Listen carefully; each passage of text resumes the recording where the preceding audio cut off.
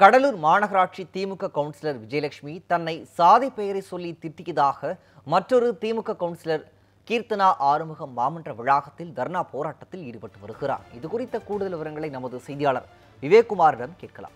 விவேக்குமார் வணக்கம். இத்தொடர்பான விவரங்கள். வணக்கம் பிரகாஷ். கடலூர் மாமன்ற கூட்டத்துல இன்று நடைபெற்ற மாமன்ற கூட்டத்துல நாற்பத்தி நான்காவது மாமன்ற உறுப்பினர் கீர்த்தனா பேசிய பொழுது நாற்பத்தி இரண்டாவது வார்டு உறுப்பினர் செந்தில் விஜயலட்சுமி விஜயலட்சுமி செந்தில் பேசும் பொழுது அவரை அவர் அவர் செய்யும் பணி தொடர்பாக பேசினார். இது தொடர்பாக அங்கே மேயர் எதிரிலேயே வாக்குவாதம் ஏற்பட்டது. இதனை அடுத்து மாமன்ற உறுப்பினர் கீர்த்தனா ஆறுமுகம் அங்கேயே மேயர் முன்னத முன்னதாகவே தர்ணா போராட்டத்தில் ஈடுபட்டார். அவருக்கு ஆதரவாக ஏழு மாமன்ற உறுப்பினர்கள் அந்த இடத்தில் பணியில் ஈடுபட்டனர்.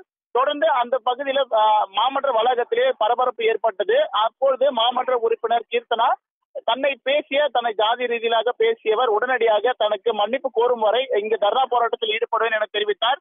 இதனை அடுத்து கூட்டம் முடிந்த பின்னர் மேயர் அங்கிருந்து புறப்பட்டார். தொடர்ந்து அவர் அங்க மாநகராட்சி கூட்டம் நடைபெற்ற வளாகத்திலேயே தொடர்ந்து மன்னிப்பு கோரும் வரை தனது போராட்டம் தொடரும் என்று அறிவித்து அங்கேயே தர்ணா போராட்டத்தில் ஈடுபட்டார். இதனை அடுத்து அங்கு வந்த மாநகராட்சி ஆணையர் அதே போல துணை மேயர் தாமரைச்செல்வன் உள்ளிட்டோர் அந்த இடத்துல வந்து சமாதானத்தில் ஈடுபட்டனர். அப்பொழுது இது தொடர்பாக நடவடிக்கை எடுக்க கோரி மாநகராட்சி ஆணையரை சந்தித்து அவர் மனு அளித்தார். மேலும் இது தொடர்பாக தன்னை அவமதித்ததாக மாமன்ற உறுப்பினர் மீது நடவடிக்கை எடுக்க வேண்டும் என தெரிவித்து இந்த போராட்டத்தை அவர் தொடர்ந்தார் பிரகாஷ். விவரங்களுக்கு நன்றி விவேக்குமார்